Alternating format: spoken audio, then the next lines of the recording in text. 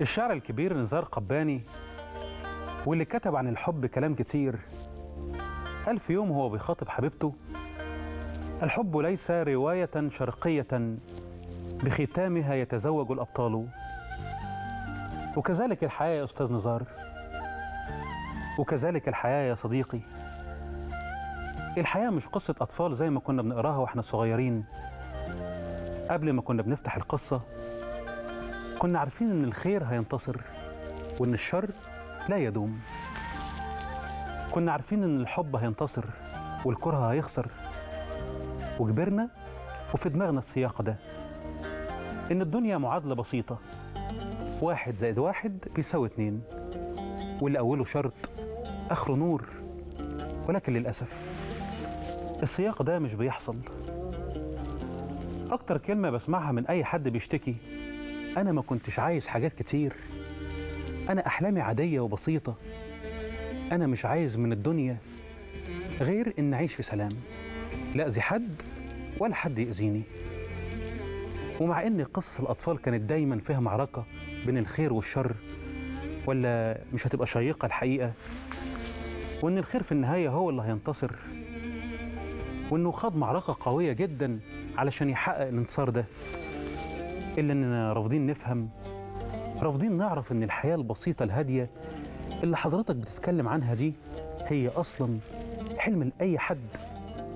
الهدوء والراحة والسكينة دي مش حاجات بسيطة زي ما أنت متخيل.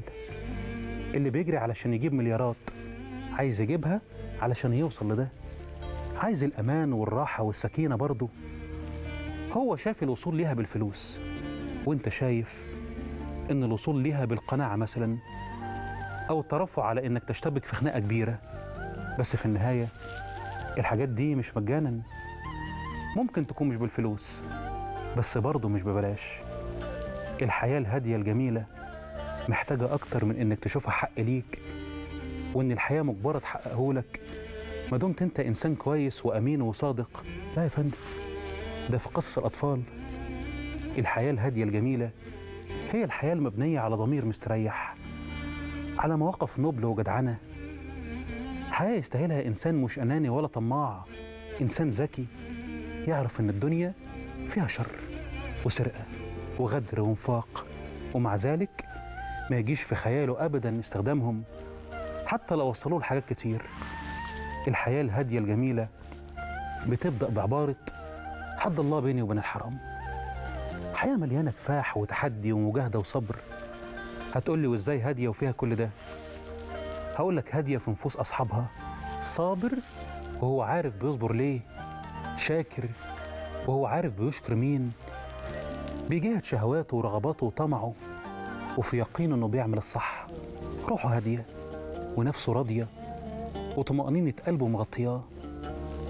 وارد رأفتنا بالأطفال خلتنا نقدم لهم شكل بسيط سهل للقصص اللي بنحكيها لهم يكون متناسب مع خيالهم البريء وروحهم الصافية.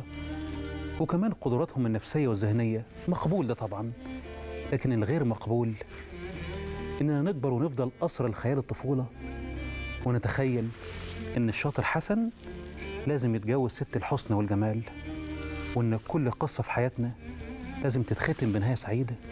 لا للأسف الحياة مش قصة أطفال. أستنونا بعد الفاصل.